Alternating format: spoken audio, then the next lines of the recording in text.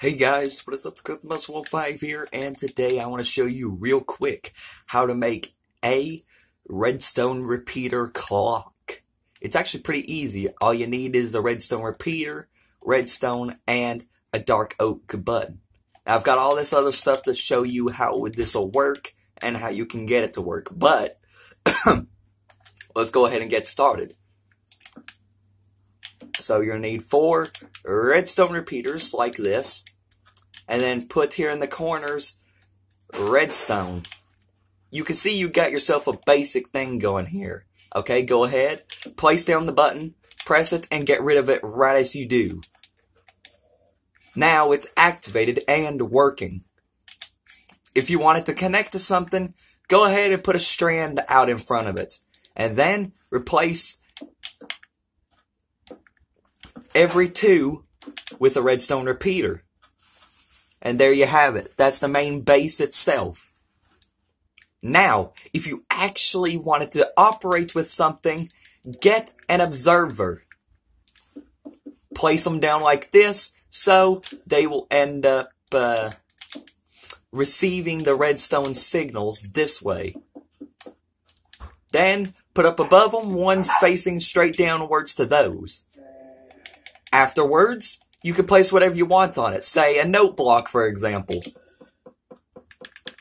There you go. Then a dispenser can also work.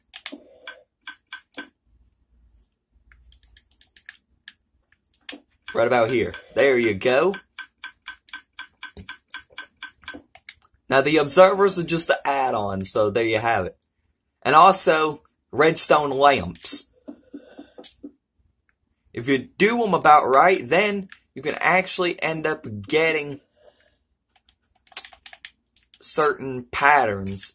trying to see if I can get it to work.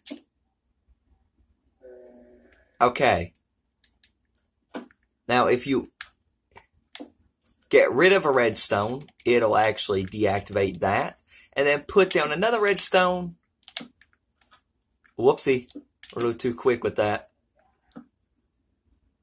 Okay? Right there. Okay, it's usually supposed to do something else, but you got your bases set up. So if you want some more on the tutorial, or tutorial, or whatever you want to call it, I mean, it's the same thing, just pronounced differently, but you can go ahead and take this to something uh, next level, like go to a bigger tutorial, which I'll see if I can get one prepared down in the description. It's not going to be mine, but it'll be something to look at. So I'm just giving you the basics here. But there you have it. You got the red uh, redstone clock and some extra stuff uh, with it. So guys, I do honestly hope you enjoyed this. And anyways, I'll see you guys in the next one. Good night, everybody.